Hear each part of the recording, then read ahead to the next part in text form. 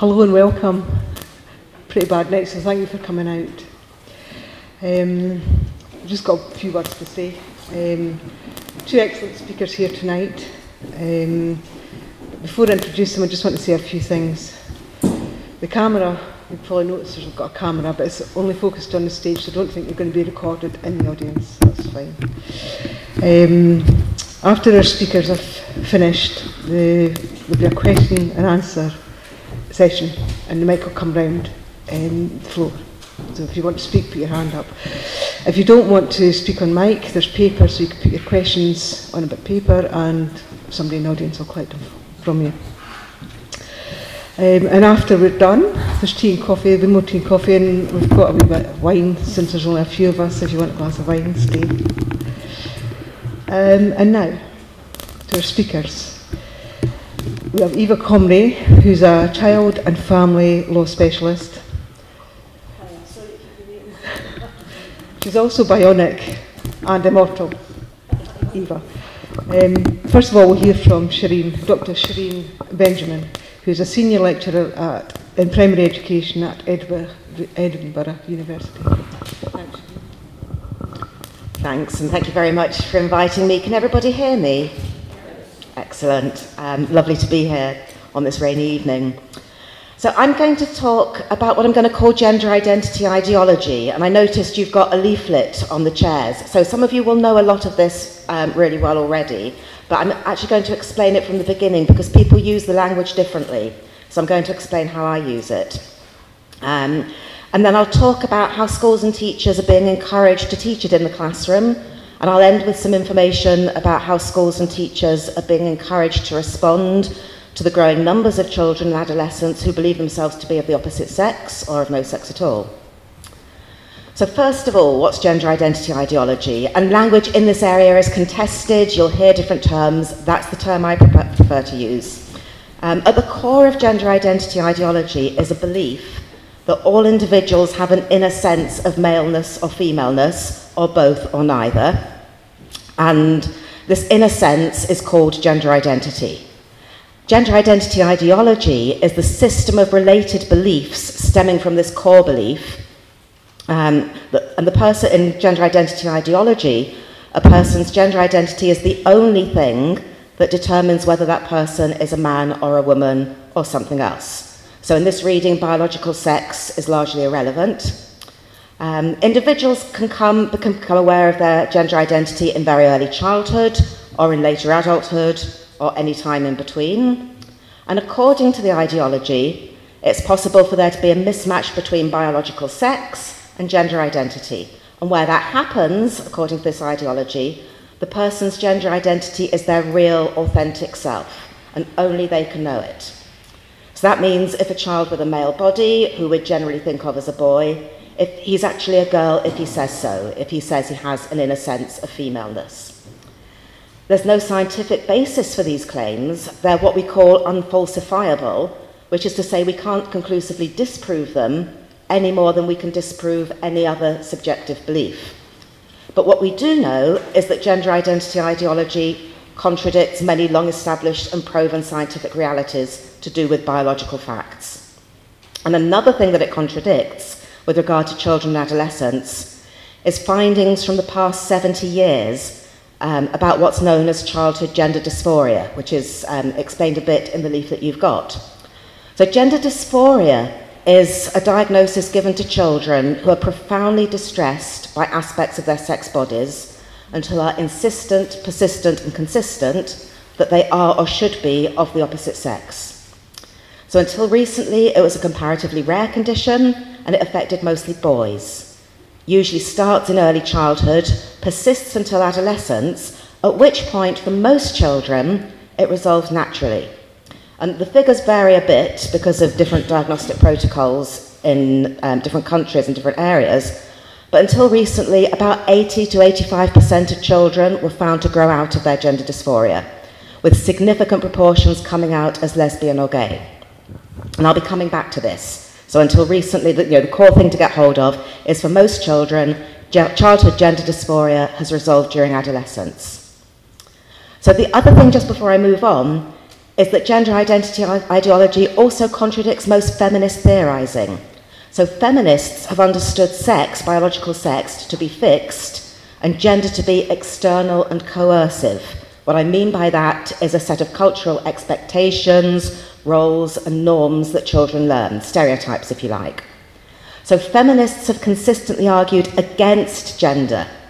For feminists, your body makes you a woman or a man, and that has consequences. But the feminist project is to make it possible for women and men, and girls and boys, to have, as far as possible, the same opportunities, um, say, not to be expected to behave in gender stereotypical ways, or dress in certain ways, or have certain jobs.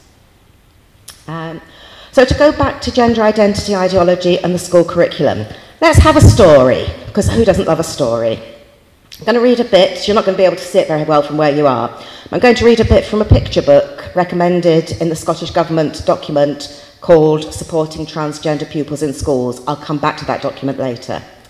Um, so this is I Am Jazz. It's based on the life of a young person who's um, really alive in North America today.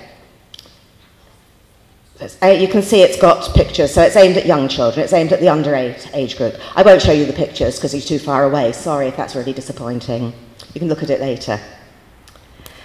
So the narrate, it's narrated in the first person by Jazz, and it goes I am Jazz. For as long as I can remember, my favourite colour has been pink. My second favourite colour is silver, and my third favourite colour is green. And there's a picture of Jazz dressed as a princess. Here are some of my other favourite things dancing, singing, backflips, drawing, soccer, swimming, makeup, and pretending I'm a pop star. Most of all, I love mermaids. Sometimes I even wear a mermaid tail in the pool. My best friends are Samantha and Casey. We always have fun together. We like high heels and princess gowns, or cartwheels and trampolines, and there's lots of pictures of little girls having fun, and wearing dresses with ponytails. But I'm not exactly like Samantha and Casey.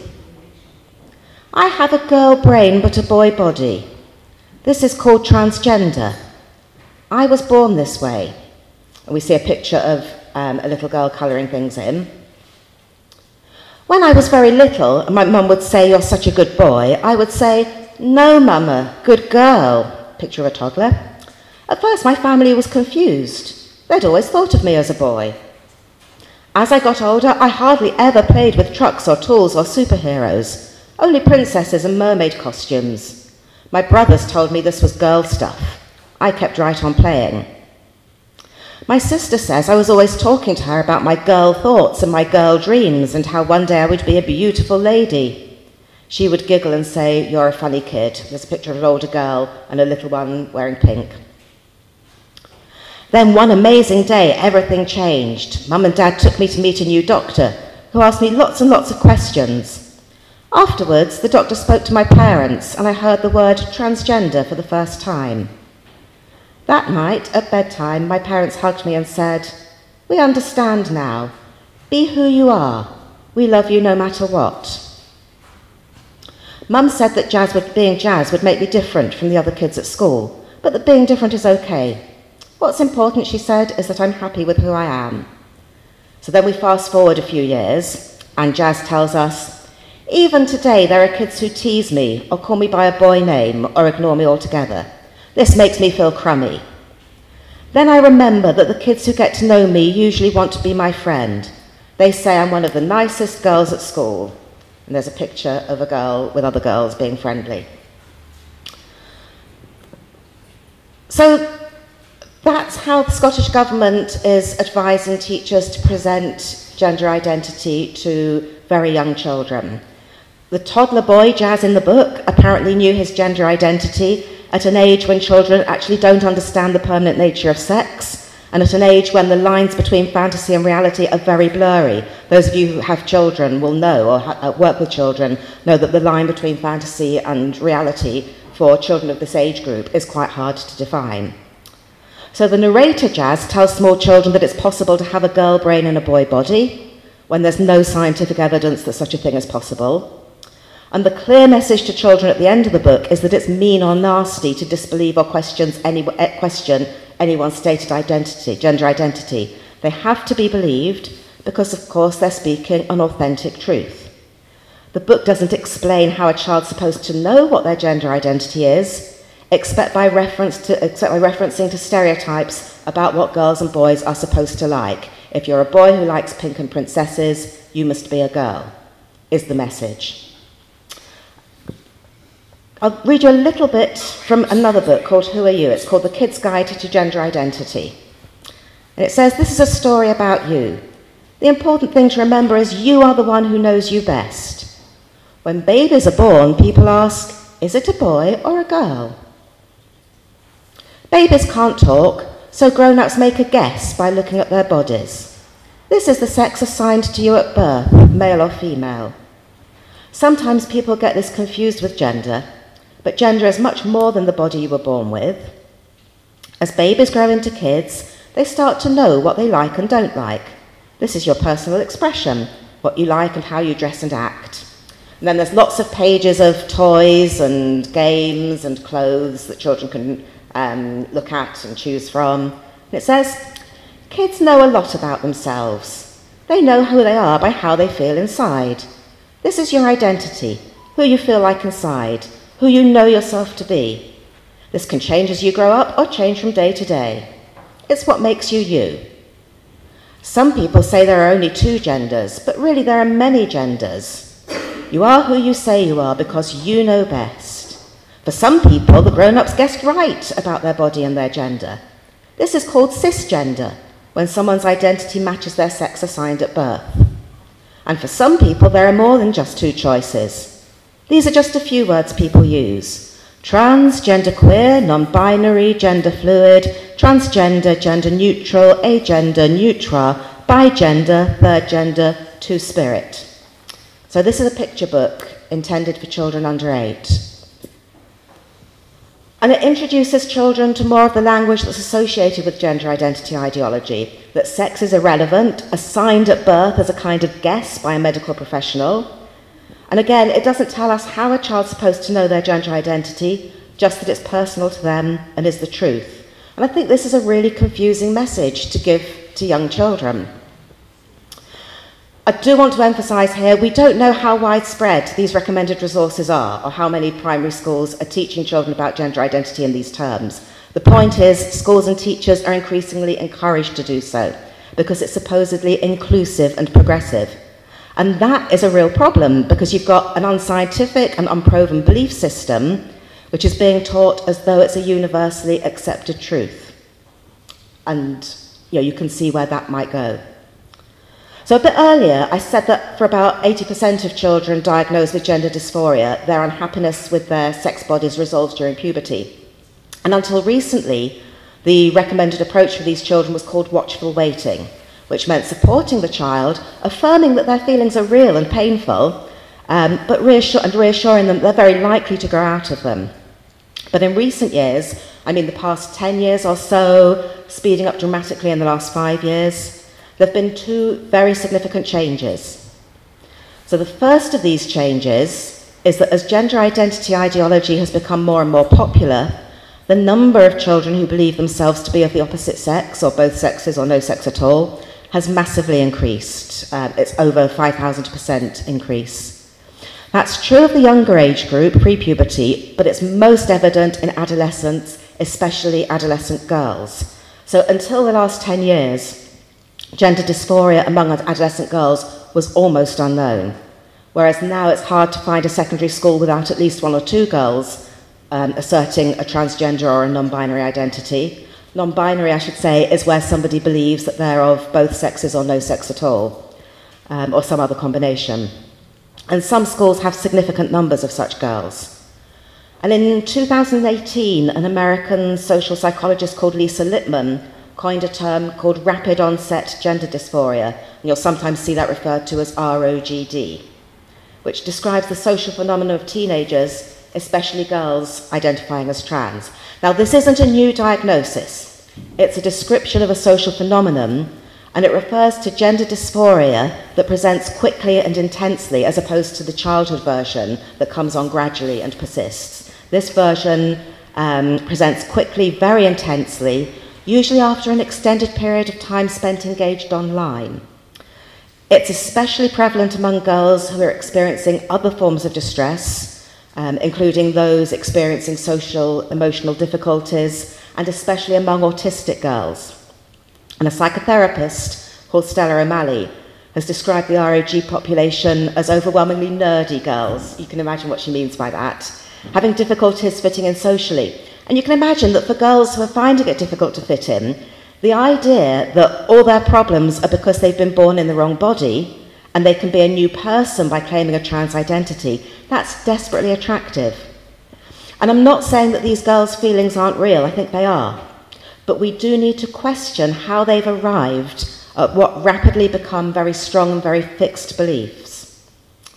So, with growing numbers of children and young people experiencing gender dysphoria, schools and teachers need advice on how to respond. And last August, the Scottish Government issued some guidance. This 2021 guidance turned out, it was long awaited, turned out to be a slightly amended version of guidance written by the lobby group LGBT Youth Scotland, which was withdrawn in July 2019 after it was found to be unlawful in places. Now, the first thing you'll notice if you pick up a hard copy of the guidance is its title, Supporting Transgender Pupils in Schools. I've been very careful this evening as indeed I always am, to refer to children and adolescents with gender dysphoria or children and adolescents who believe themselves to be of the opposite sex. And there's a good reason for that. When it comes to younger children, we don't know and we can't know which of the children experiencing gender dysphoria will find it resolves during puberty, which is most of them, and which will be in the minority for whom it doesn't resolve. When it comes to adolescents, there's loads we don't know in relation to this sudden very significant increase in numbers. But we have to at least be open minded to there being a variety of psychosocial factors, including social media activity, peer pressure, and what's known as social contagion. ROGD is a very new phenomenon. We can't possibly know yet which of the girls affected will find that their gender dysphoria persists into adulthood. Probably very few. But just the title of the Scottish Government guidance tells us by referring to transgender pupils, the idea that a child or an adolescent claiming a transgender identity is transgender, using that title shows us that the guidance is underpinned by and informed by gender identity ideology. Because in gender identity ideology, the only explanation for a child or an adolescent asserting a gender identity that doesn't match their biological sex is that they are a transgender pupil. So that's how we get the clue from its title where the Scottish Government's guidance is coming from. So what does it advise teachers to do? I think it's actually got some good advice in it. I wouldn't junk the whole lot. It's got some good advice. Here's how it starts off. If a young person in the school says they now want to live as a boy, although their sex assigned at birth was female, or they now want to live as a girl, although their sex assigned at birth was male, it's important to provide support and listen to what they are saying. Now, aside from that phrase, sex assigned at birth, which I don't believe to be accurate and is scientifically unproven, if we bracket that out, I agree. Provide support and listen. I think that's what we do need to do with young people who are distressed. They go on, if a young person would like changes to be made in order that they're supported to learn, then consider what is in the best interest of the young person. Absolutely. I couldn't agree more. You know, do think about what's in the interest of this person the best interests of this child. But how are teachers to know these best interests? Have they been told in the Scottish Government guidance that most primary school age children with gender dysphoria, even those that are most insistent, grow out of it during puberty? No, they're not told that. The guidance doesn't refer to it. Are they told that ROGD is a complex um, social phenomenon, poorly understood at the moment, affecting the most vulnerable teenage girls? No, they're not told any of that. So teachers are asked to make decisions about what's in a child's best interest without knowing that really important information. Here's where it then goes.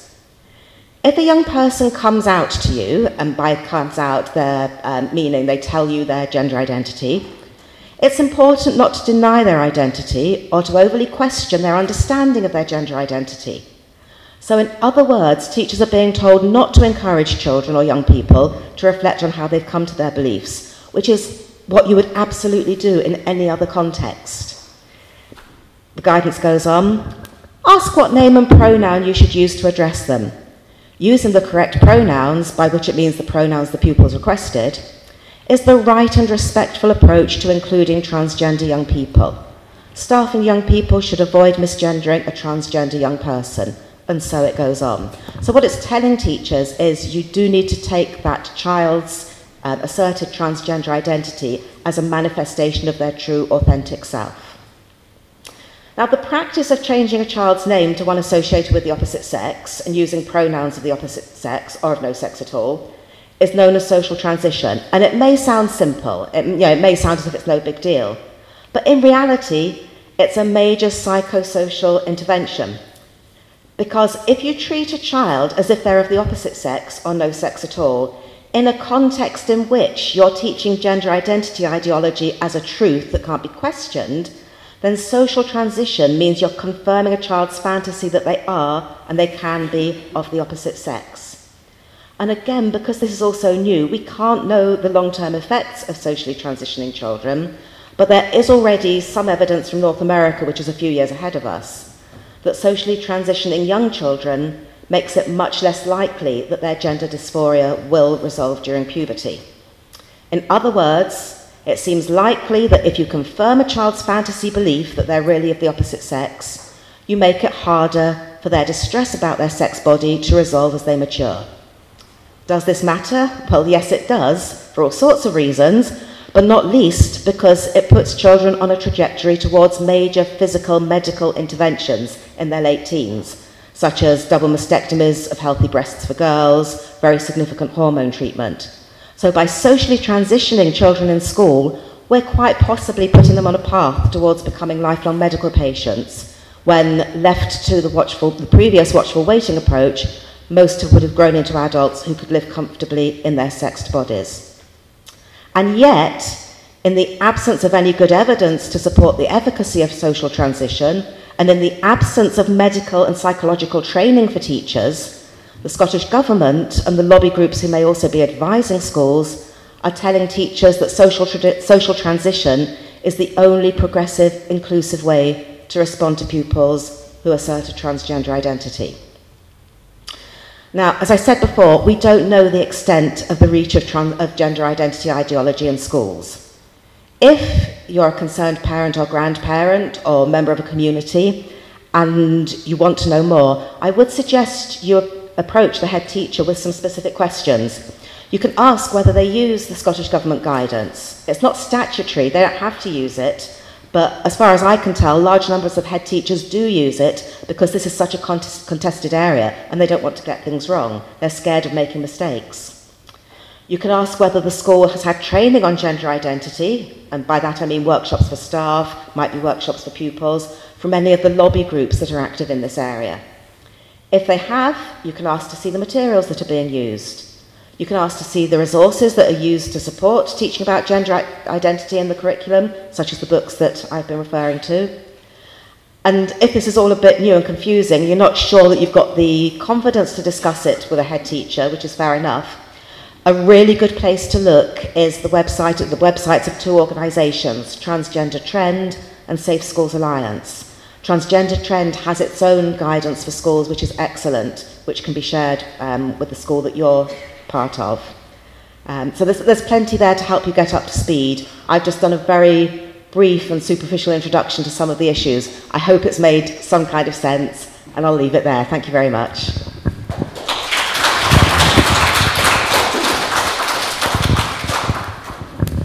Before I hand off over to Eva, these documents are on the table at the back. We've got copies of them here for you if you want to have a look. Eva.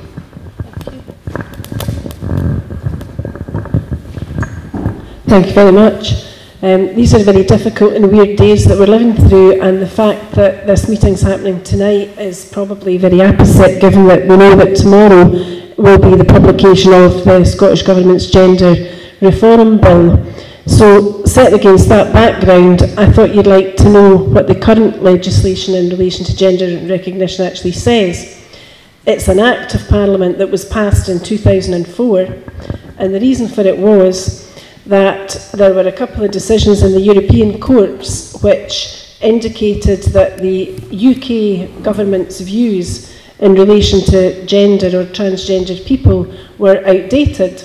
So the law was changed to introduce the ability to change your sex marker on your birth certificate. But at the time that that Act passed through the Westminster Parliament, it was deemed to be too controversial to tell the public that it was an attempt to introduce a law to change sex, primarily because 20 odd years ago the general public didn't believe that it was possible that you could change your sex. Apparently, that's no longer the case, and some folk think you can. You know, I'm not one of them. So, the gender um, recognition legislation um, has a preface, an introduction that all Acts of Parliament have to have. And it's a sneaky one, because although the title of the Act is the Gender Recognition Act 2004, the introduction says, This is an Act of Parliament to make provision for and in connection with change of gender. So, the original issue was that pensions legislation was deemed to be unfair as between men and women because there were different pensions ages. And it was also deemed to be unfair that somebody who was transgender couldn't marry somebody of the same sex. But that was because we didn't have same sex marriage then, which obviously we've got now. So the start of the proposal was we'll allow folk to change their gender. When you go through the legislation, what it says is if you have a medical diagnosis which is certificated by your medical practitioners and is confirmed to be gender dysphoria, and if you live in the opposite gender, i.e., opposite sex, from that you were born in, if you do that for two years, you can then apply for and usually get a gender recognition certificate. When you've got that, which says you now have a new gender, the legal jump that is made is that you can use that certificate to change the sex box on your birth certificate.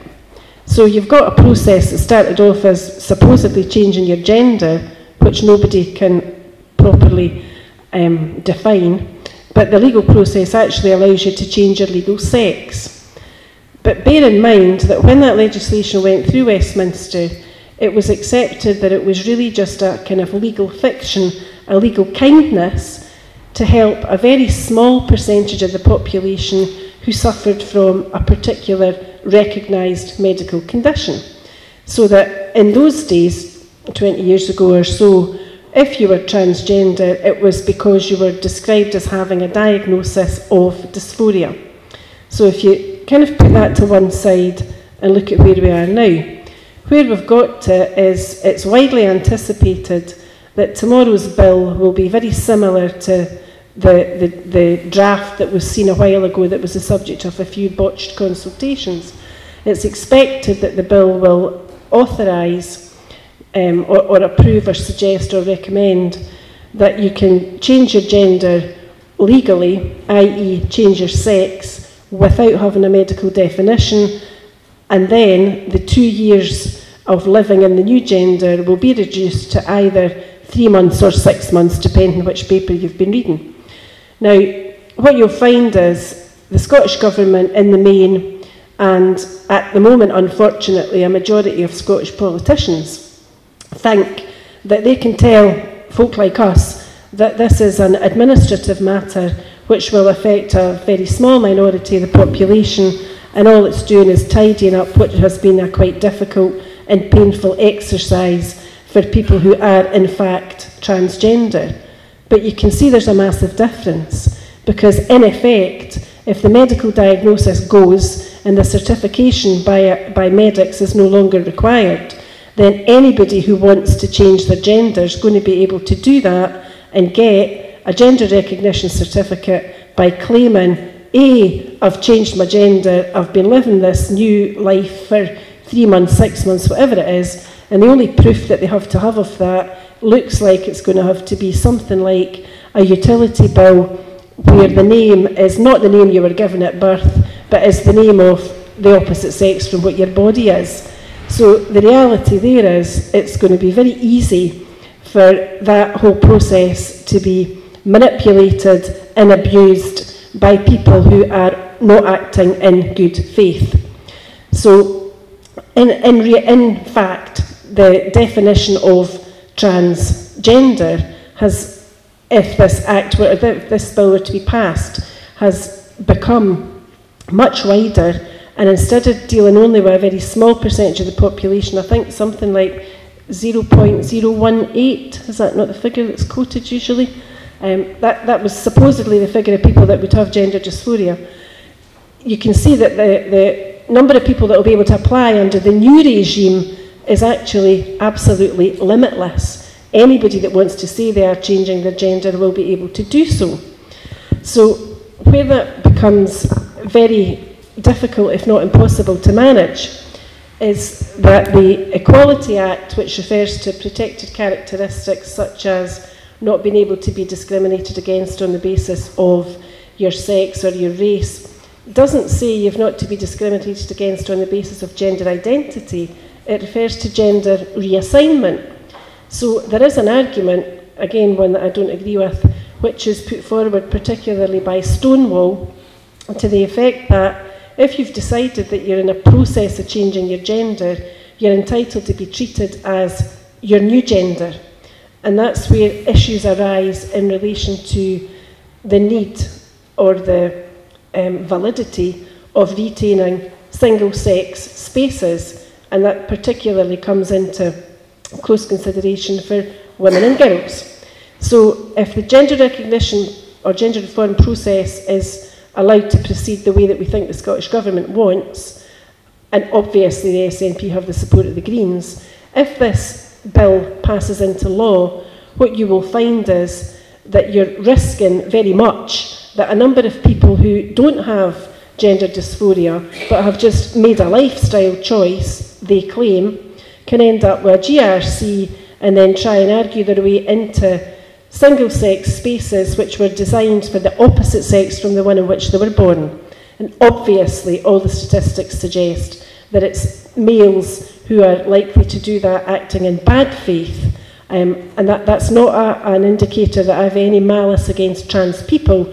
I'm pointing out that loopholes like this are very able to be um, manipulated and abused and taken advantage of by people acting in bad faith. Now, the principal position where that's clear is in relation to prisons. Now, um, I think that most folk here will know that at the moment it's accepted by the Scottish Government that there are at least 12 people who were born male presently serving sentences in female prisons. It's understood, I think, that at least 11 of those have not had any surgery. So that's 11 men with male bodies locked up with women. That's not acceptable from my perspective, and I don't care whether they've got a GRC or not. I believe that most of them don't. Um, but I do understand that it's very clear um, from records kept by various organisations that the view in the Scottish Government and in their advisory bodies was that it was, um, it was apposite to use female prisons as, in effect, the experimental ground because, and I'm, I'm going to quote you this because I don't think you'd believe me if I didn't. Um, a chap who works for a government funded charity. Here we go. Mr. James Morton. You should keep a note of that name because you'll be hearing it a lot in future. In 2018, he wrote, and this is a guidance for the Scottish Prison Service. We strategised that by working intensively with the Scottish Prison Service to support them to include trans women as women on a self declaration basis within very challenging circumstances, we would be able to ensure that all other public services should be able to do likewise. So, in effect, several years ago, before we've talked about any need to reform the original process whereby you need a medical certificate and two years living in your new um, gender before you can get your GRC, this chap's recommending to the Scottish Government, the Scottish Prison Service, that they should start allowing men to be housed in women's prisons, and that's exactly what happened. So not only did that happen there, there was also substantial guidance written for several, if not all, um, NHS hospital trusts in Scotland, whereby males were also allowed to self-identify into female spaces. Um, the, those that I've read, but I think have probably disappeared temporarily from the internet, were Greater Glasgow and Forth Valley Health Boards, and their guidance um, made it very plain that if a self-identified trans person asked to be um, housed or treated in the ward of the gender into which they had chosen to identify, then that's exactly where they were to be treated. The guidance in both um, cases, though, went on to say, and most starkly in the Glasgow one, that if there was a patient, say, say your, your um, patient was a, a male, a trans identifying male who considered himself female, and you put him in a female ward. The guidance said in terms, and nobody will accuse me of telling lies about this, it was there in black and white, it might still be there. The guidance says in terms that if a trans identifying male, that's a man who says he's a woman, is in a woman's ward, and if a woman, born female and continuing to live a female life, is in that ward because she wants to be in a female ward, and she points out that she's a bit upset and a bit concerned because there's a male bodied patient in the ward, then the advice to the nurse, and again, I'm I'm quoting, says that the nurse must speak to the patient and explain this is a female ward, only female patients are in this ward. And I'm not kidding, I'm not lying, that is the guidance, and I'll challenge anybody to say otherwise. So if the female patient says, I object to this because that's a man and I don't want a man in my ward, this is a female ward, then the nurse is to warn the female patient that her conduct may constitute, in effect, hate for which she might be reported. And the ultimate sanction would be that the female patient would jeopardise her own treatment because the feelings of the trans identifying male are considered to be superior to the sex based rights of the female. That's the law. But that's, that, that's entirely and completely wrong. The sex-based rights of the female take priority over the feelings of the male is the law, but not as the Scottish Government see it or want us to see it.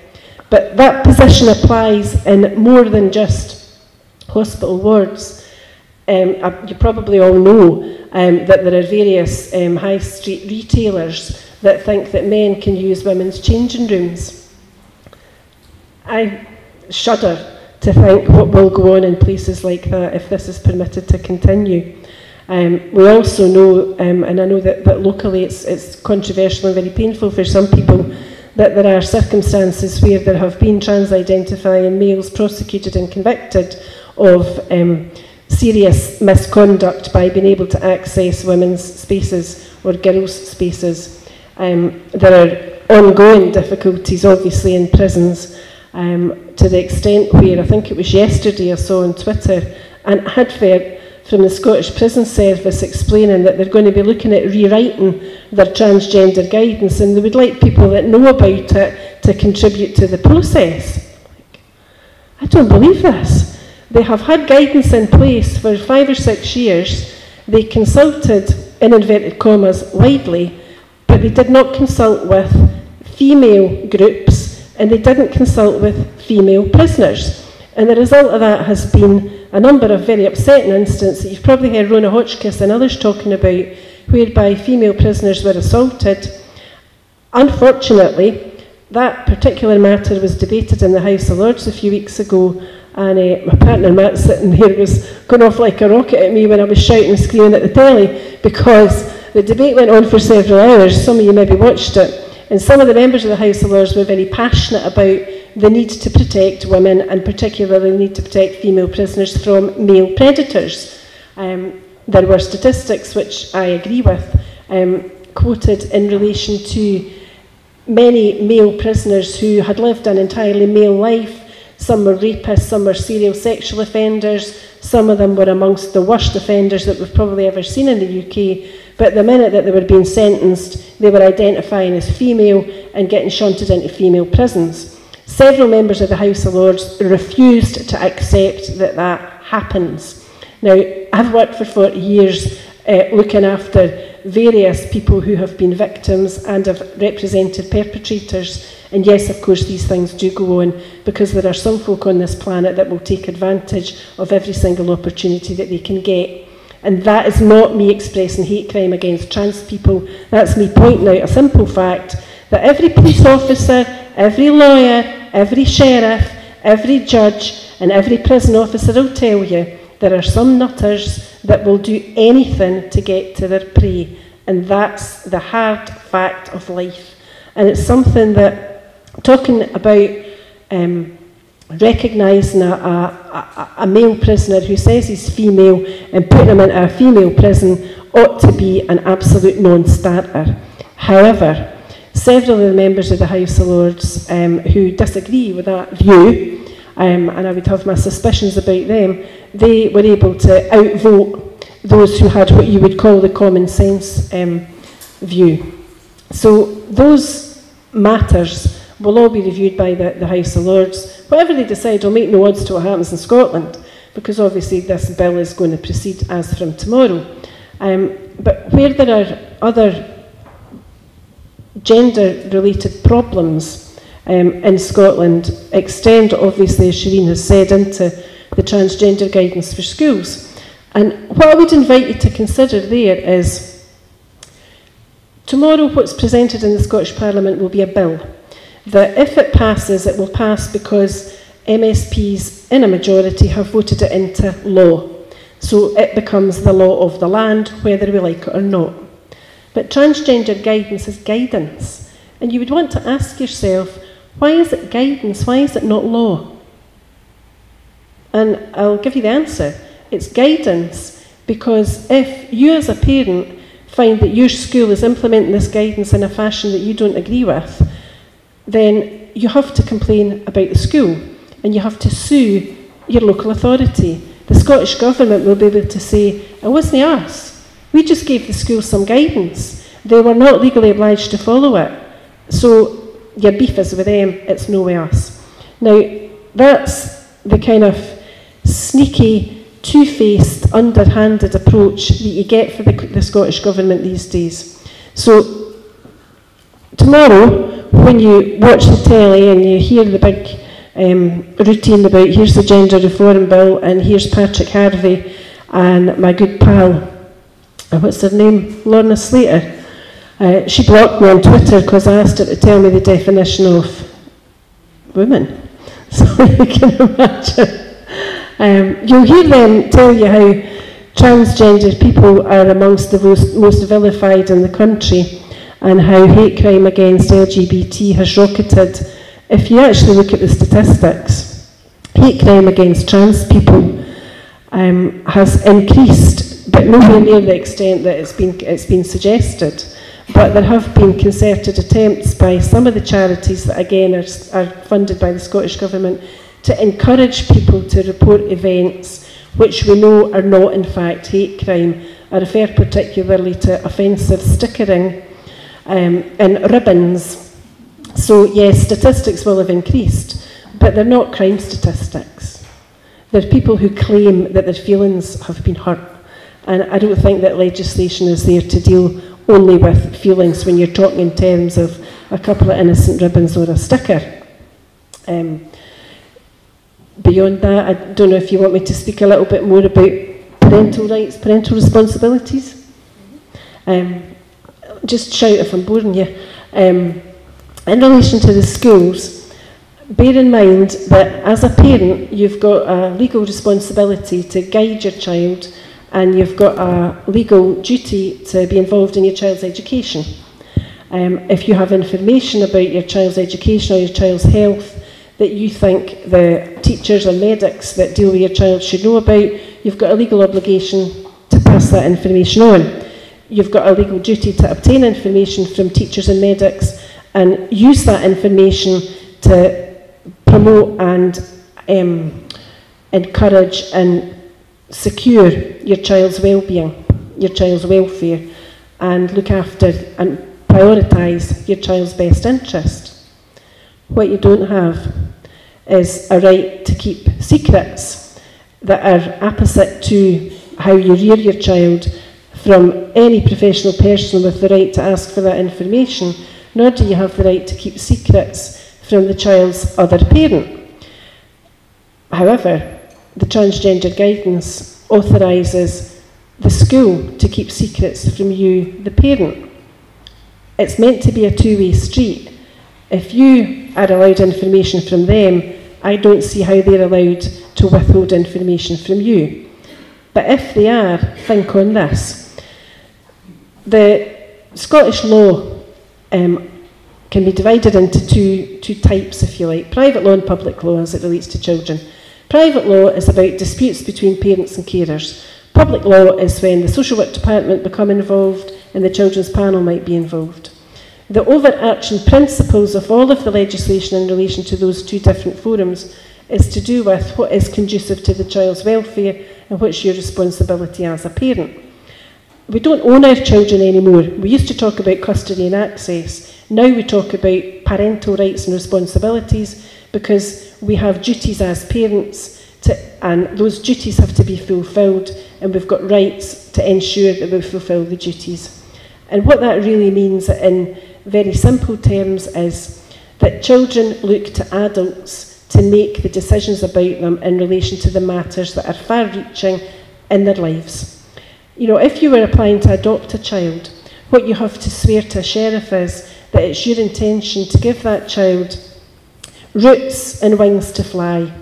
And it's about giving them a grounding and it's about giving them the encouragement to go out into the world. And there's a phrase in the midst of the adoption legislation that I like, and it's to do with giving that child who came into your family the ability and the, the, the faith and the pride to have a lifelong and very positive attitude in relation to development of everything, every aspect of the personality.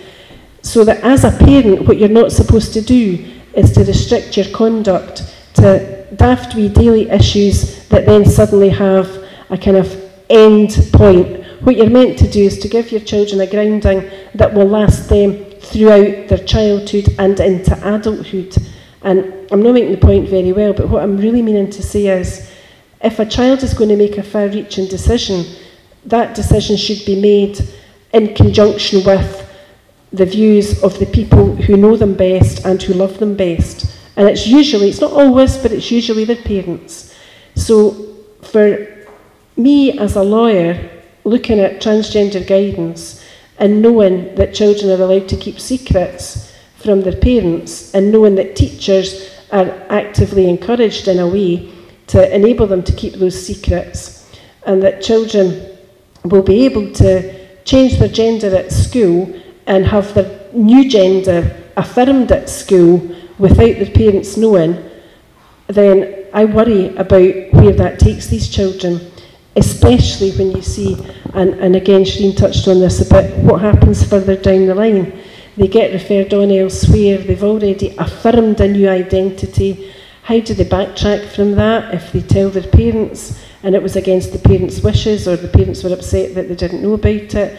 Does that make the child more or less likely to grow out of something that they might have grown out of anyway?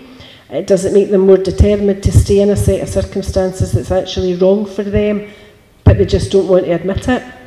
But get further down the line, and they'll have, if, if they insist that they are transgender at a young age, there will be talk about things that no parent wants to contemplate, such as puberty blockers and surgery. Um, if you look at the, I think it's the GoFundMe website, you'll see um, a lot of crowdfunders for children, not just in the States or in Canada, but a lot of them, a lot of them are in Scotland. Children looking for money for what they call top surgery and bottom surgery. And I, I was fully expecting to recognise some of the faces on that website. It's really concerning when you read it.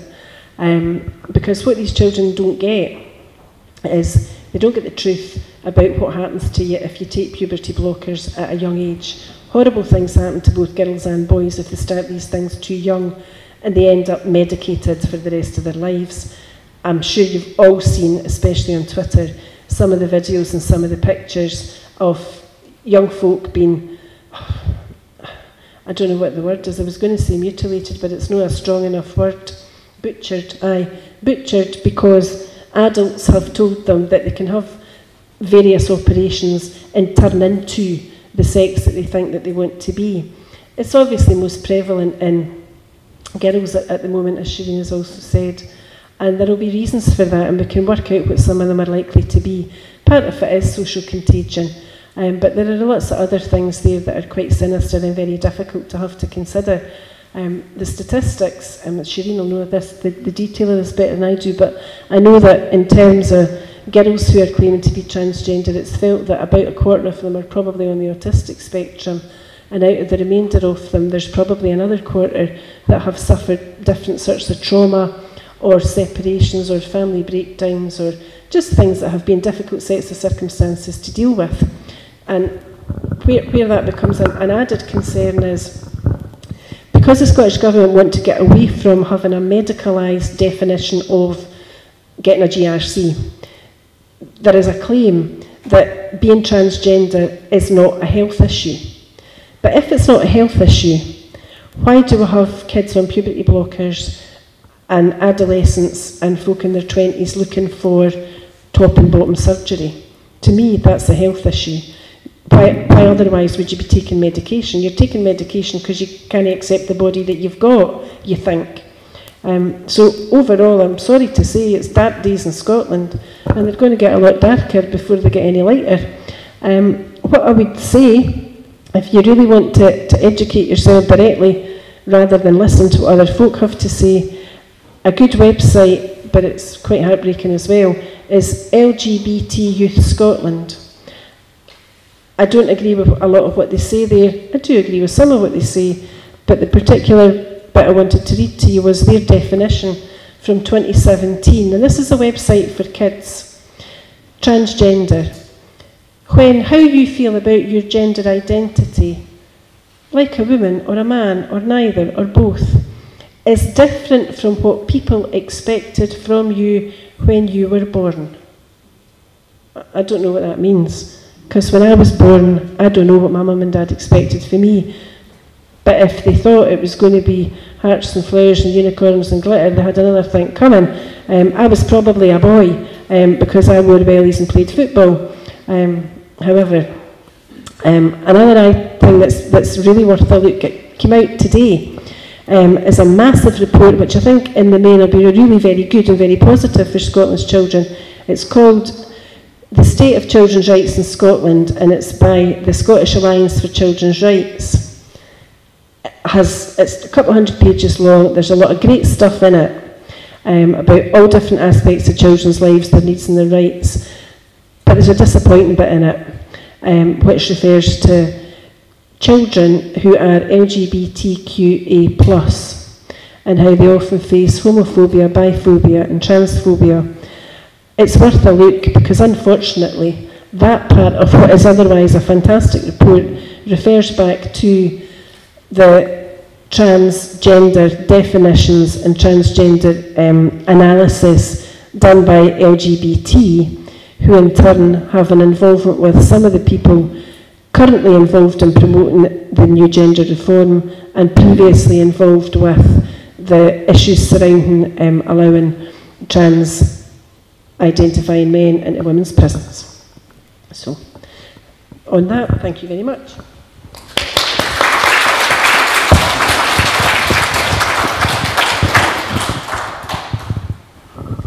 Has anybody got any questions?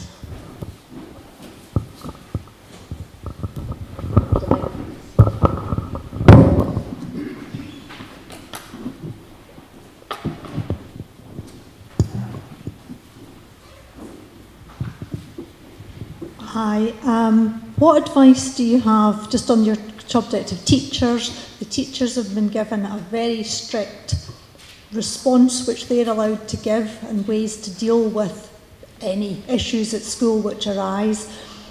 they would love, or speaking uh, on behalf of a couple of teachers, they would love to have the opportunity to more explore with the kid what's going wrong, why they hate their body, why they hate going through puberty, why they, what it is that's up with them. Instead, they've to go down the official route that you've sort of already been describing. One teacher in particular would love to challenge that, but is unable within the school structure. Any suggestions?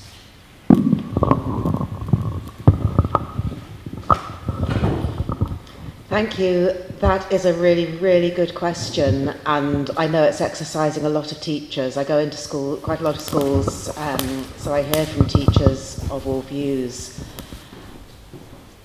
I mean, I don't know, obviously, um, the nature of the school. What I would say and do say to teachers is to find like-minded teachers if they possibly can, so that if there's a group of you, um, it's much easier to start asking some hard questions.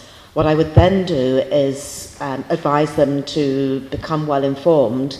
So, you know, a lot of teachers have hunches. This, this doesn't feel right. You know, this is what teachers say to me. You know, it doesn't feel right. I'm a science teacher.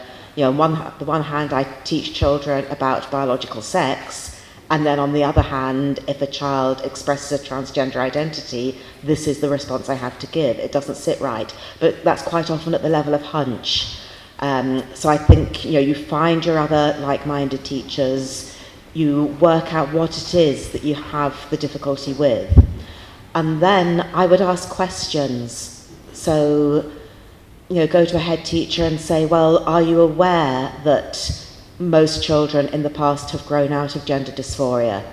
And the research is telling us that if you give children a clear message that their feelings are real, their feelings matter, and we understand this is difficult for them, but you don't confirm that they really are of the opposite, but you um, don't confirm they're of the opposite sex, they're likely to find that their distress resolves. But the research tells us, dear head teacher, that if you do confirm they're of the opposite sex, it's much harder for that to resolve. Pose it as a question to the head teacher. What do you think? You know, do you think it's all right that um, we're potentially uh, setting children on a trajectory where they may be medicalised? So pose it as a question because that way, you know, that, that's where you can find the contradictions. Um, look for other contradictions in the school's practice. So, you know, between the science curriculum and the social studies curriculum is a place of contradiction.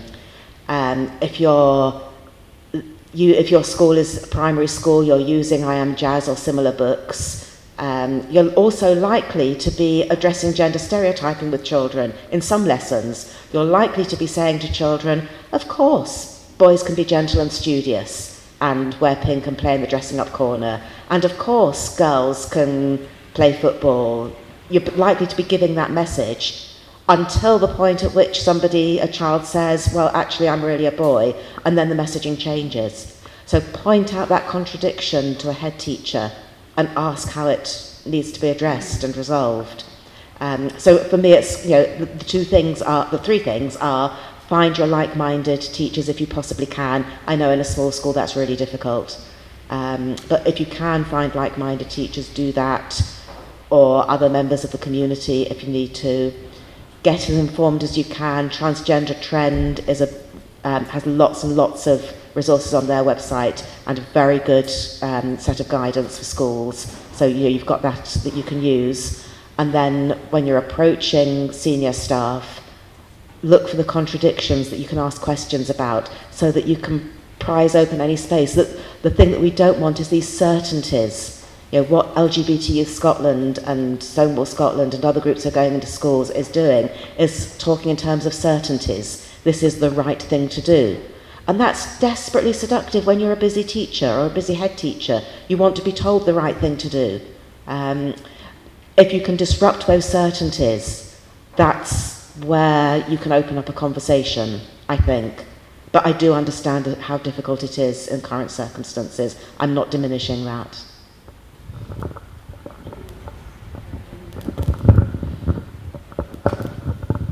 Thanks. Where I find that really difficult is if you're, you're the teacher and you're struck with, for example, um, the boy who says he's a girl, and the guidance says he should be allowed to use the facilities for the gender into which he, he would take himself.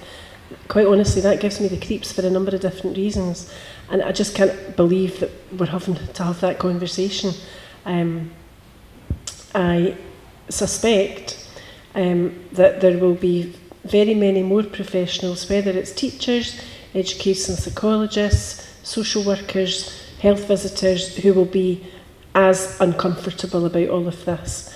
They probably are far more realistic in the main than some of our legislators and politicians are. Um, they've seen this, you know, from, from probably all different angles that politicians don't think of or don't want to consider. Um, I would particularly suggest that you compare this with the outcry that there was in England in relation to the Girl Guides organisation, because you'll have seen the the guide leader who got into bother because she objected to was it boys being able to be guides and go in camp and then recently we had the controversy about the male who said he was a female guide leader. I was in the brownies I was in the guides my mum would never have sent me on a camp if she thought that one of the guides or brownie leaders was a man it just wouldn't have happened but of course the process now is that you're not allowed to know because it's private there's something very, very wrong at the heart of all of that. Um, so I kind of think that unions particularly are likely to do what has happened recently with the female um, union federation that's just been invented. I'm not sure the full name of it. Is it the Women's Trade Union Movement? They only um, appeared on the scene maybe about a fortnight ago. I would imagine that, that teaching unions and probably other organisations, whether it's social workers or whatever, will develop their own wing, which will be, in inverted commas, gender critical, for want of a better expression. Um, and, and I would hope that that happens sooner rather than later. Thank you. Anybody else?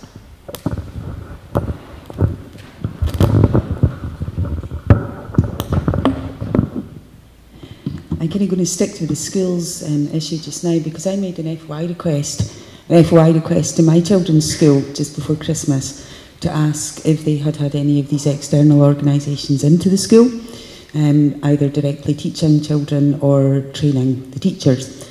And I also asked for copies of the materials that were used. And the reply I got was, yes, we do. We've had, I think it was LGBT youth and one other, don't quote me because I can't, I can't remember, but they refused to provide the materials using the commercially sensitive exemption in the FOI legislation. So my question is really what can we do to, to force them to release this information?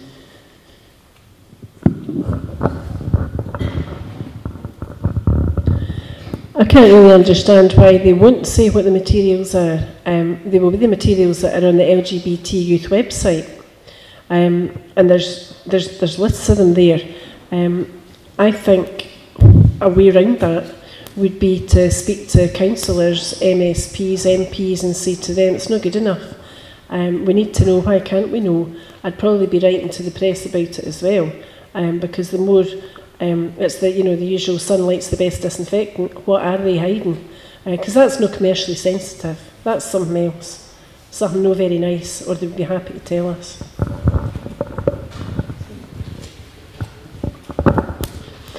I'm, I'm wondering whether it was the TIE campaign, Time for Inclusive Education, because they have, I've, I've noticed on their website, they have kind of two steps to it. They have some materials that are universally accessible, anybody can go in and find them, and then they have some that aren't. Um, and the website says you, you, know, you have, your school has to join, has to be a member. So I can imagine they're using the commercially sensitive argument um, to say that you know, this is our intellectual property and we don't want it out there in the public domain. But that's not, you know, that, that doesn't meet the threshold for commercially sensitive under the FOI legislation. So I, I don't think they can get away with that one. But I'm certainly I'm aware of that organisation doing that. Thank you.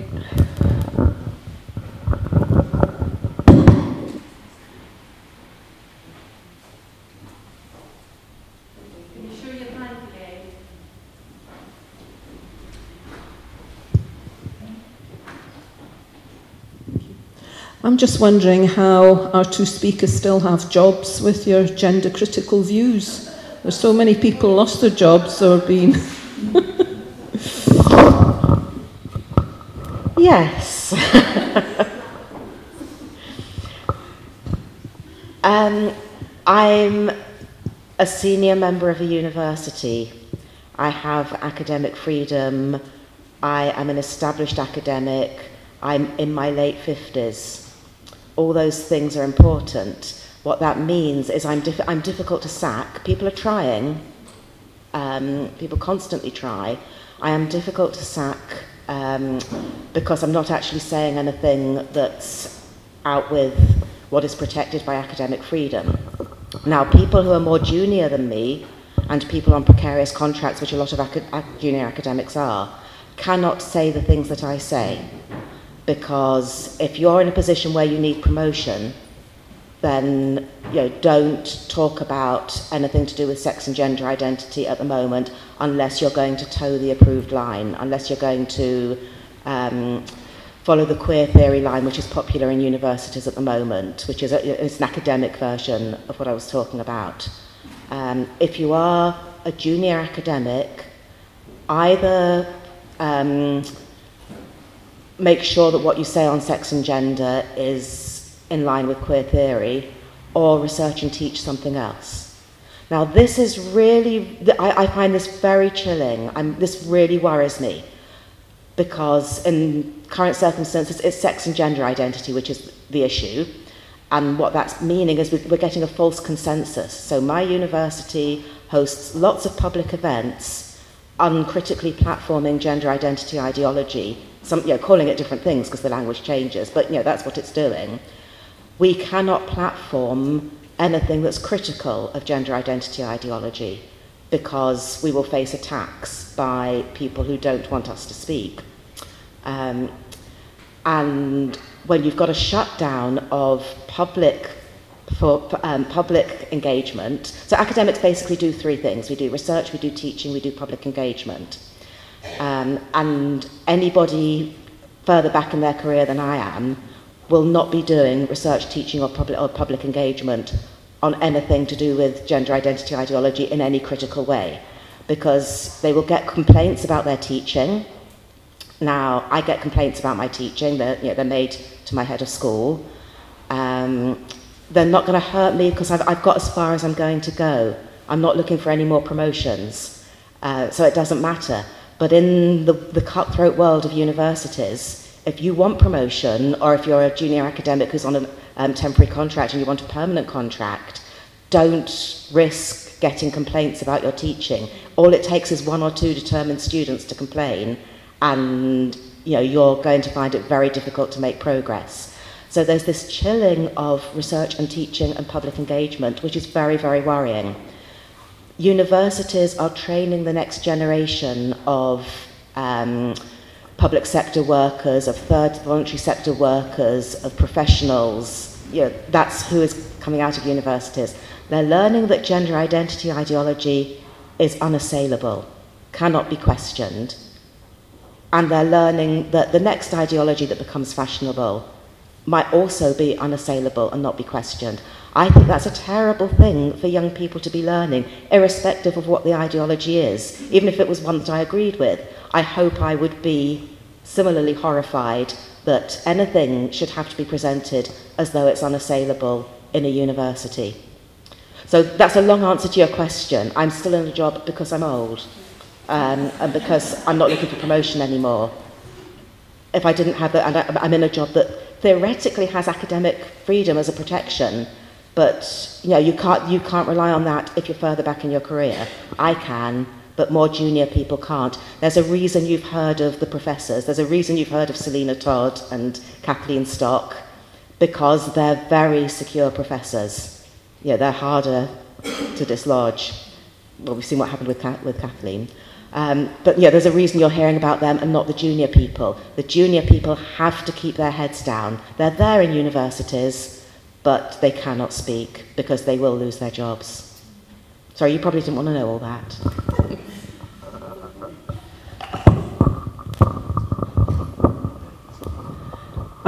A slightly different slant on your my answer. I started work in 1980. Um, finished my degree, was an apprentice working in Alloa. And most of my clients, origin, uh, to begin with, were, were women, um, predominantly from the Women's Aid Refuge. Um, and what I now know um, in relation to violence against women and girls, statistics in relation to prosecutions for sexual violence, um, the understanding that the Scottish Government thinks they can do away with safeguards like corroboration or trial by jury, etc., in an effort allegedly to address those very poor statistics. It disgusts me, to be quite frank. Um, I cannot do what I'm doing now um, properly without the knowledge of the years of experience that I've got. But had I attempted to speak out 30 years ago, I would have been sacked. I would never have worked again because it would be against the ethos of very many fairly powerful people within legal circles. Um, but there are as many within legal circles that, that agree with me um, as there are that disagree, but it's a trend, um, it's a fashion, and people don't like sometimes to tell the truth. Um, but to kind of slightly turn that around a wee bit, the reason why I do what I do now um, is because of all those years of that type of work where I met victims and I met perpetrators and I don't hate men and I certainly don't hate trans people and I'm not homophobic, I'm not biphobic, I'm not transphobic. Um, I have one phobia and it's to do with spiders. But apart from all of that, I don't think that a male-bodied person should work in a women's aid refuge. And I don't think that a male-bodied person should be given advice to victims of rape. I thought that when I was 18 I think that now when I'm 59, and I'm the immortal one, I'll still be thinking that when the rest of you aren't here anymore. It's not acceptable in a civilised country for a man to say to women who are going to a refuge or a rape crisis centre because they've been traumatised and brutalised. It is wrong that a man can say, You're not getting in here until you leave your bigotry on the doorstep. Come in and we'll talk about it. Women who've had those experiences do not go to get assistance, advice, or support from intact male bodies. Um, if you kind of go back to the sex, not gender debate um, in the Scottish Parliament, I was having to applaud as sheroes, politicians that I had spent 30 odd years fighting against in the Labour Party, but I was a member of the SNP and my head was on a swivel because all these women that I had looked up to and thought, freedom fighters, this is what we want, this is what Scotland needs, this is democracy. Most of them, with a couple of notable exceptions, were voting the wrong way. But those who were at the end of their careers, most especially Johann Lamont, you know, again, I'm shouting at the telly in tears watching her word voice breaking when she's saying all the things that I bet you practically every woman in Scotland would have agreed with. So now is time for the most famous or infamous, infamous feminist to the proverbial fingertips to learn women won't wished.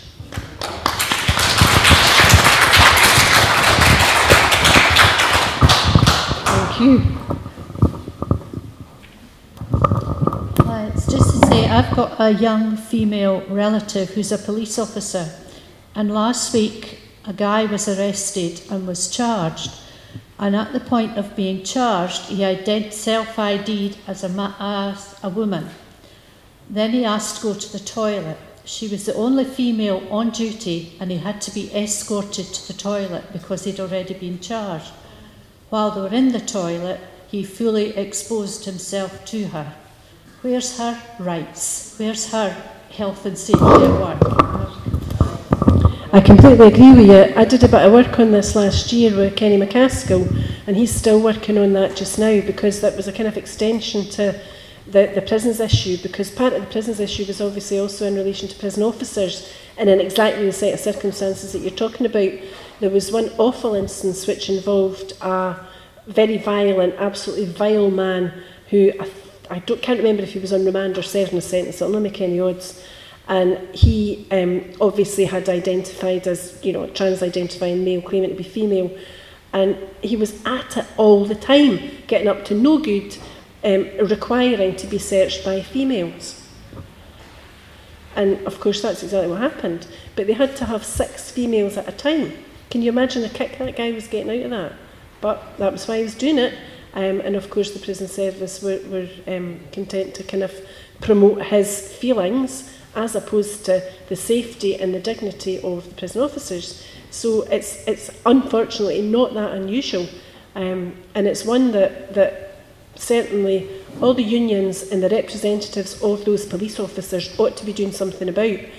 You've probably seen the um, trans-identifying male police officers, especially in England. There's a few of them had their photos taken. One of them in particular was was he not holding a taser or something up, um, and you know shouting about the rainbow flag and LGBT rights, etc. And that again brings into very sharp focus that there are rights of an awful lot of people that are being impacted very badly and wrongly by this wrong-minded process. So I'm really sorry about your, your female relative and I hope that her union, her federation does something cogent about it.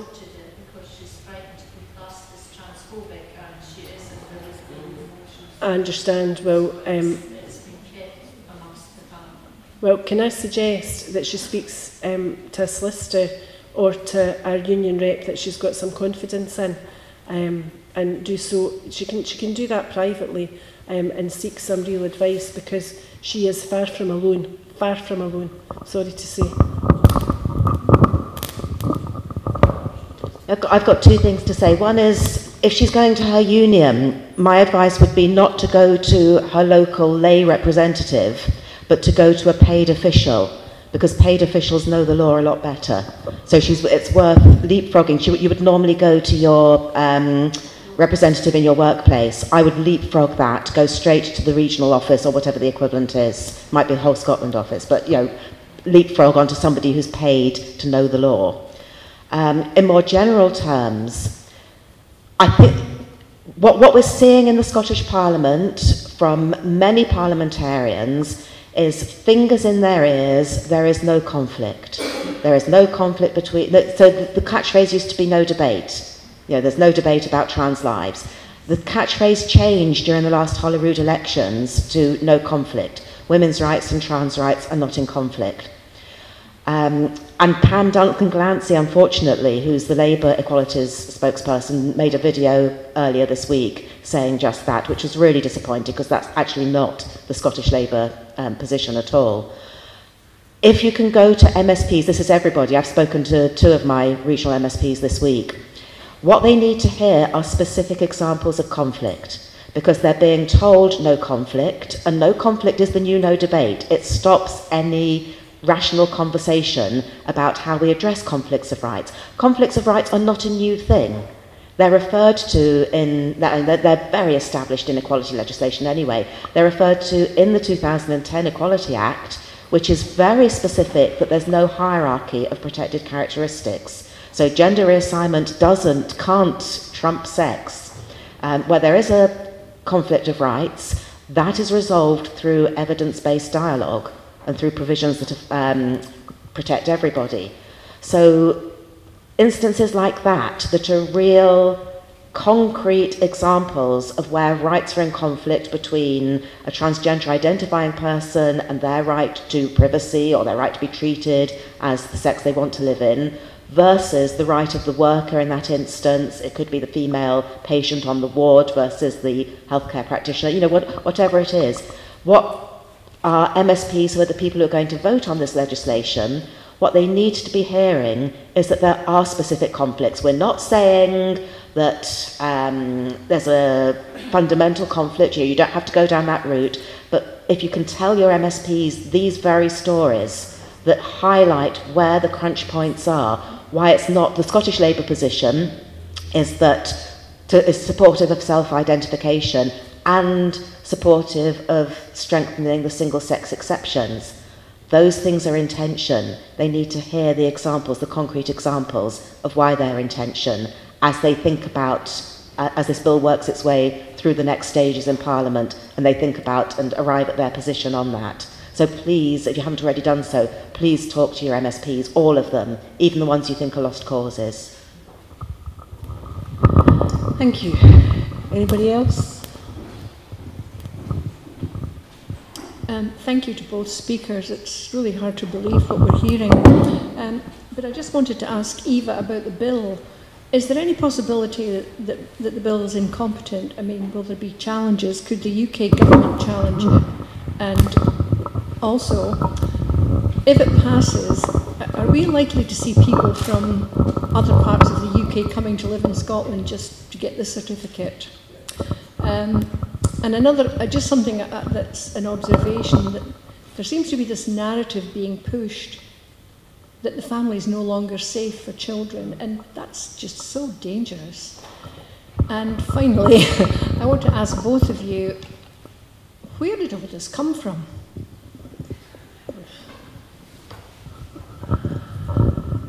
The family a safe place? Depends who you're listening to, um, because if you were to consider the independent care review that Nicola Sturgeon set up a few years ago and it reported a couple of years ago, and its um, recommendations comprise the promise. Um, its recommendations principally are based on saying that actually the home is the safest place, the family is the safest place, but there are a few exceptions. But there should be drives made to keep children at home wherever that's possible, um, and it should be very much a last resort to consider that the home is not a safe place on the one hand. On the other, obviously, you've got guidance after guidance after guidance that suggests something different. Um, I mean, I think last week's controversy was about the, the child protection regulations and whether or not if the was it if a professional and, and especially teachers, I think they meant, found out that children aged between 13 but not yet 16 were having sex, they didn't have to immediately tell the parents or carers because the child was entitled to confidentiality. And you know, it's another of these. There's a mark on your forehead because you can't take the brick wall any longer. Um, so it just depends who you read and who you listen to, because obviously there are circumstances where legislators think that parents are not to be trusted, um, which is mainly pathetic and highly offensive. Um, in relation to whether the bill is competent or otherwise, there's a good thread on Twitter that was done originally by the lawyer Ian Smart. He's not my pal, we've got very little in common and we do not share the same political beliefs by a stretch, but he had a lot to say about competence, um, especially because obviously it will affect the impact of the Equality Act, and the Equality Act remains reserved to Westminster. So it would be a good cop-out Um, and it might be one that they'll choose for the Scottish Government to say, sorry, hold the bus, we got it wrong, we can't do this after all. Do I think they'll do that? Well, they? Wheech. Um, and that's because they've dug themselves in so far, they don't know how to get out with a bit of good grace. Um, you were asking, will people move to Scotland to get a GRC? I can think of a million and one other reasons why they would, but that, nah, I doubt it. uh, but there will be changes elsewhere eventually. Um, so um, there was one other thing, and I can't read my writing. Where did it come from? well, you know where it came from. I'll read you that one. okay, I will address where it came from, but before I do that, um, I brought another book which I won't read to you, but um, I'll just wave it at you. This is called 10,000 Dresses. Um, it's about a little boy who likes to wear dresses and how his parents aren't at all interested and um, don't support him in his dress wearing and don't recognize him as the girl he really is. Um, and it's very much teaching children that your parents um, are bad and wicked and don't understand you. Find your real glitter and sparkles family. I think it's a really problematic book. Um, I brought with me the section from um, the Scottish Government guidance on supporting transgender pupils on confidentiality. What it says is um, a transgender young person may not have told their family about their gender identity. Inadvertent disclosure could cause needless stress for the young person or could put them at, at risk and breach legal requirements. Therefore, it's best not to share information with parents or carers without considering and respecting the young person's views and rights. Which, I know it's not saying in so many words the home is a dangerous place, but it is saying the home may be full of people who aren't enlightened and aren't going to support the child properly and affirm their gender identity, so only do it with the child's consent. Um, which I, I, I think, you know, that is, you, you can read that. This, this applies throughout schooling. This applies to primary schools as well as secondary schools. The idea that primary children or teachers in primary schools are being encouraged to believe that it's all right to keep that kind of major secret from parents, that to me is a huge red flag on safeguarding, which I find very, very worrying indeed. Um, on where it's coming from, how long you got? So it's, it's come from a number of places. One of the places is elite uni- uh, American universities, so the Ivy Leagues and um, Californian universities in the 1990s, where queer theory was developed as quite an interesting set of theories about thinking about um, binary divisions and people. If it had stayed in the academy, it would have been interesting, you know, interesting philosophical discussions. Unfortunately, the, it then emerged out of the academy into real life. So people in universities discussing whether um, masculinities and femininities needed to be tied to male and female bodies was one interesting thing. I don't think anybody in the universities in the 1990s who was having those conversations imagined it ending with rapists in women's prisons. I don't think, know, that was the end point of the trajectory they were thinking about. Uh, but it, that, that's the origins of queer theory, which underpins the idea that your sexed body is separate from your gendered self that sex is performative. That was one origin of it. In, you, simultaneously, there were um, groups lobbying. There's a group called Press for Change who were lobbying at very high levels to change um, markers around sex and gender and, you know, in, in some instances, to get sex removed as an identity marker on passports and um, such documents. So that there was a lot of work going on at the highest levels in places like the UN. I don't, I, uh, the top of my head, it's complicated. So it's worth going and having a look at uh, the backstory of Press for Change and who was lobbying whom for what um, in all those places. And then in the kind of mid 2000s, so around 2005, 6, 7, a lot of this was popularized on Tumblr, which is um, a very popular social media site. At the time, it's, it's been described to me at the time as the Lord of the Flies of the internet.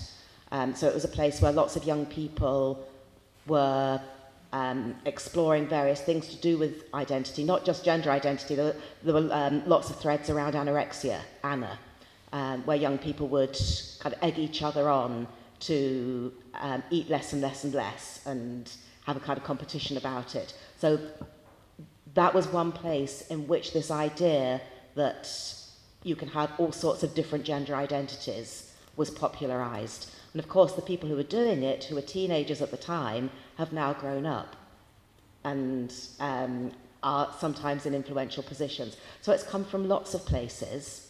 The pharmaceutical industry, particularly in the US, where a lot of money is to be made out of medicalization.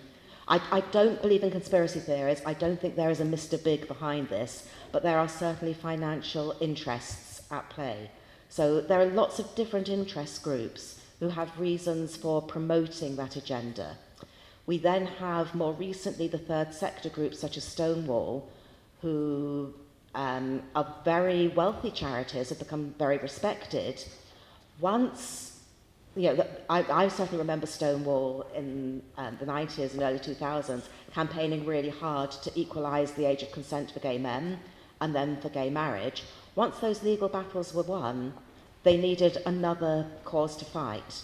So this was another cause they could fight. So there's lots of different competing interests um, and competing or, and different origins that have kind of come together into where and brought us where we are today. I think it's not one single cause, nor is it one single conspiracy, but I do think there are some financial interests at play in the mix.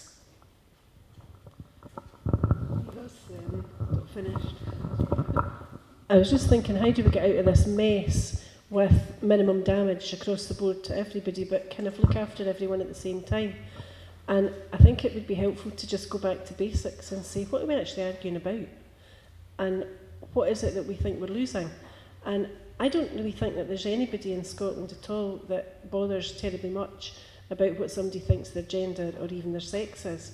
The issue really is about safety and security and dignity and decency, and that's what's in jeopardy. And it would be very easy to remedy. There is nothing, and I mean nothing in law or in practical terms, but there is in political terms, to stop the First Minister or any of the ministers announcing tomorrow we're, we're going to go ahead with, with gender reform. We'll have a nice debate about it. We'll have a citizens' assembly about it. We'll hear all competing voices. We'll not try and stick this through on the back of a couple of flawed consultations. But the bottom line is that the Scottish Government could announce that they intend to fully protect single-sex spaces by saying that the single-sex space will be available for people of the word that I hate, natal sex only, and also create safe spaces for trans people. That is the ideal outcome, I think. Um, I don't think that any sensible, rational person can actually profoundly disagree with that, because no matter how much um, sense or sensibility you have, and might feel terribly sorry for somebody who has, say, gender dysphoria, the hard fact of the matter is if you're born male, you're also going to die male, and vice versa. It can't be changed. But you can live a life as a female without having to bully or impose upon natal females. Um, and I kind of think that some MSPs are needing to take that on board and to say the women, the reason that women feel endangered and silenced and bullied is because A, we are in danger, B, we are, there are attempts to silence us, and C, we are being bullied. We're not being bullied by um, trans-identifying males with a diagnosis of dysphoria. We're being bullied by the other guys that think that they can have a beard and wear whatever they want, make themselves up however they want, but we'll agree that they are so female that they're allowed into female wards and toilets and everything else. But when I was wee, I was told not to speak to strangers. So was everybody else in here.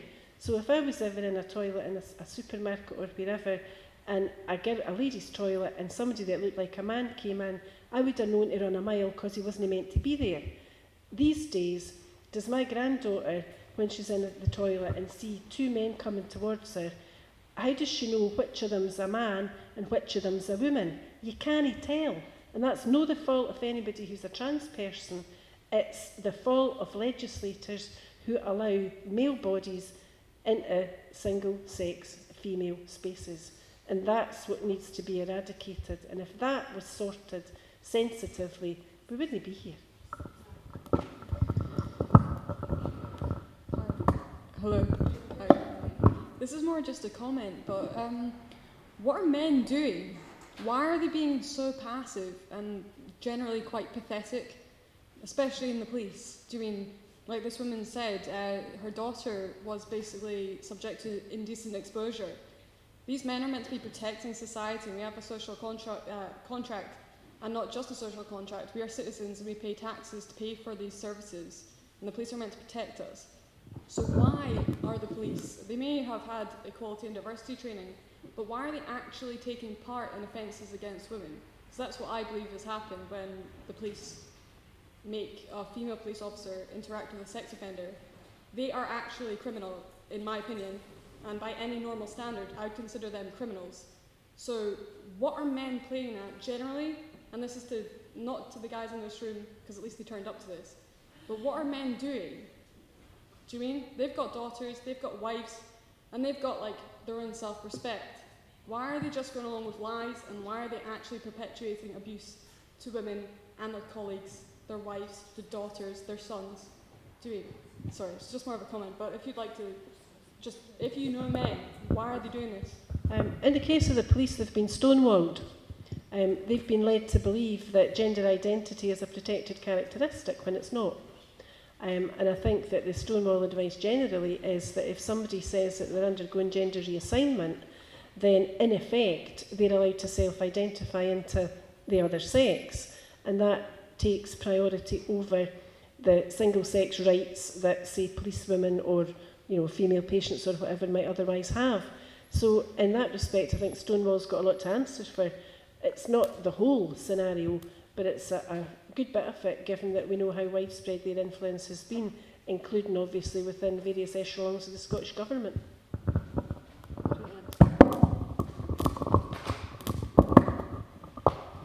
Um, I think a lot of men aren't interested. It's not a big deal to them if they haven't got female relatives who are directly effective, then they're not interested. Some men are, yeah, we've got some fantastic men on our side, they're very small in number. Um, I'm aware of the group of lefty men who've always wanted to be able to have a go at mouthy, bolshy women and never been able to, and now they suddenly can. I've, I, I, I'm a, by habit, you know, the last uh, 35 years, I've been a very active trade unionist. I'm now not in my trade union anymore. That's because my trade union has many lefty men in who are delighted that they can now have a real go at older, mouthy women. Yes, and not only can they have a go and, hey, you know, get lots of adulation for it, they'll have lots of young women telling them how heroic they are for it. Can you imagine anything better? You know, so uh, men have all sorts of reasons, but you know, a, a lot of men aren't interested. I don't want to generalise about all men, obviously, and we have some exceptions here in the room, and thank you very much. But many men aren't interested in what happens to women. That's how patriarchy works. Can I have the mic up the front, please?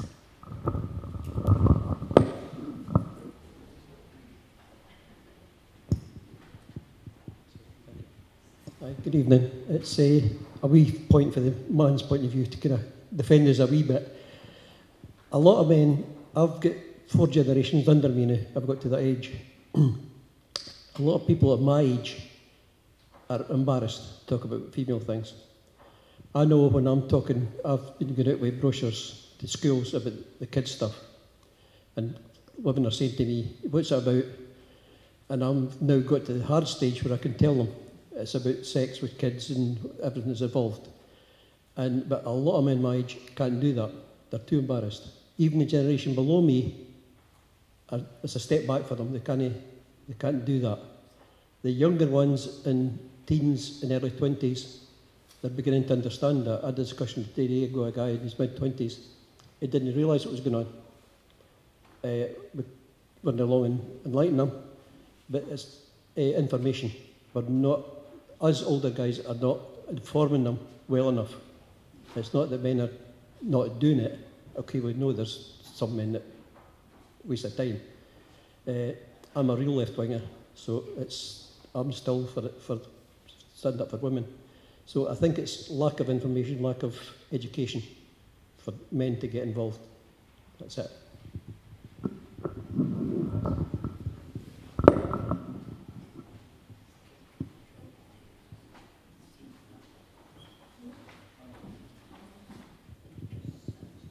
Thank you. Uh, I've got a question, but if I could just add a wee bit onto that as well as this, um, for my explanation. It's kind of like saying why are a lot of men not involved in politics.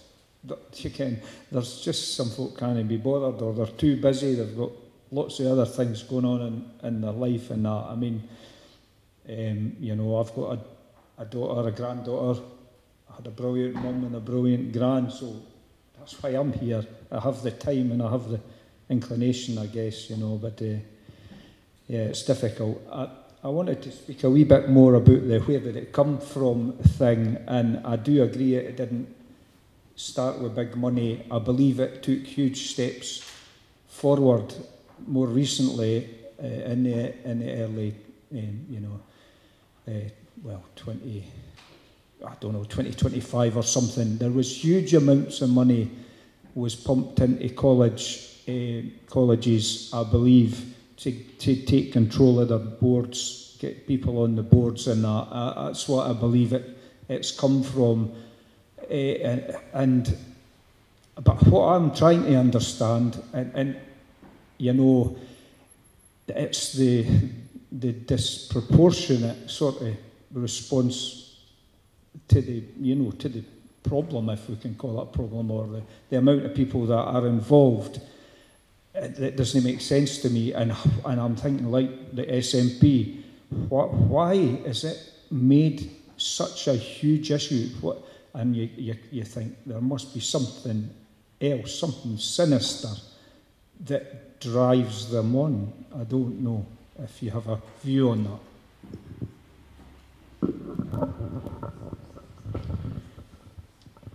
I, I think for most people it isn't something sinister. Um, I'm a Labour Party member. What I've noticed on the left is that it's become very hard to have a class analysis. So when I got into left-wing politics, we were all talking about class all the time. We were all talking about material inequalities. What can we do to reduce the gap between rich and poor? What can we do to reduce the wealth gap? What can we do to improve people's life chances and therefore their material um, circumstances was what we were all engaged in. It feels like we lost that battle. You know, since the mid 70s, the gap between rich and poor has widened, the wealth gap has widened even more, um, and the opportunity gap has widened. It feels like we've lost that battle, and what we've been handed instead is identitarianism that we can, you know, the thing that's left for the left to play with is identity politics, is making people feel better, making people feel um, respected whilst the poor get poorer. But instead of addressing that because that's too difficult, let's in instead have a civil rights movement that looks at ever finer and finer questions of identity while not making any material difference to people's real lives. to me, that's a lot of it. Um, I, I just think there's many, many things going on. But for me, as a, as a lefty, you know, it's that retreat from class into that very individualised politics um, of equal opportunity rather than looking at outcomes and narrowing the wealth gap. Would you, would you agree, though, that there are large, massive amounts of money to be made out of this, especially if we can get more and more people on medication at a younger age? Is that? I, I do think that's in there somewhere. I, I don't believe in conspiracy theories around this, and I, you know, I don't think there's a single mastermind or a single organisation. I don't think it's, um, I don't, that's what's happening. But I do think the pharmaceutical industry is huge. You know, the medical pharmaceutical industry complex is, is an enormous thing. And there's certainly money to be made. There's a, there's a market. If you get people on hormones young, if you get people having major invasive surgery on healthy tissue, they're going to need aftercare. Um, yeah, if you give somebody a, give somebody a hysterectomy in their late teens, early 20s, they're going to be a lifelong medical patient. Um, so there's certainly money to be made in it. The extent to which it's the driving force, I don't know. And I, I don't think there's a Mr. Big somewhere pulling the strings or a single organisation. I don't disagree with anything that Shereen has said, but I think that there's a couple of aspects that might be almost unique to the Scottish Government. Um, and that is, they, I think, and probably most folk here agree, that they thought they would sneak this through a couple of years ago. They didn't expect there to be the outcry that there was when women, more switched on than I was at that point, um, started speaking up about it. Um, but what's also really interesting is, if you look at the Scottish Government website generally, practically every area of that refers no longer to sex but to gender. So that we don't have a, a pay gap between men and women, we've got a gender pay gap.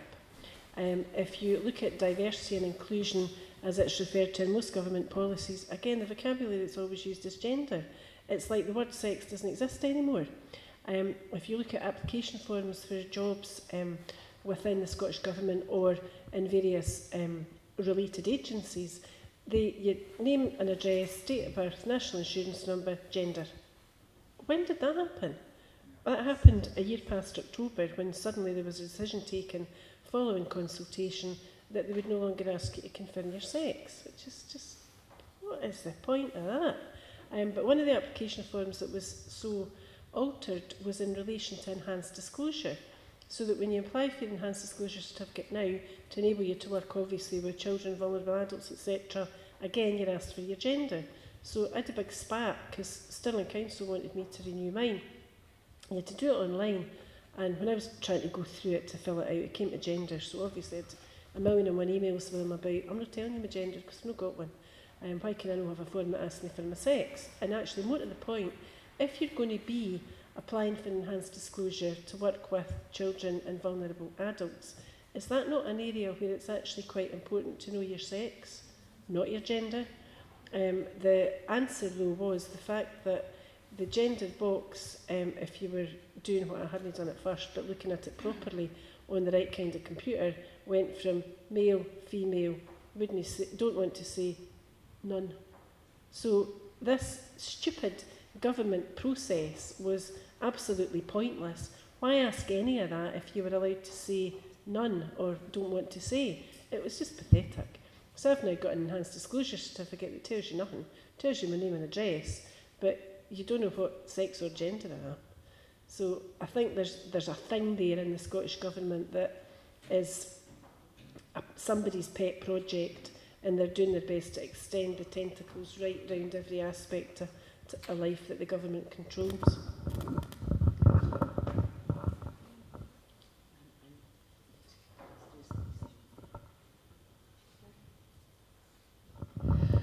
We're going to have to say goodbye to Shireen. She's got a train to catch. So thank you very much for all your input.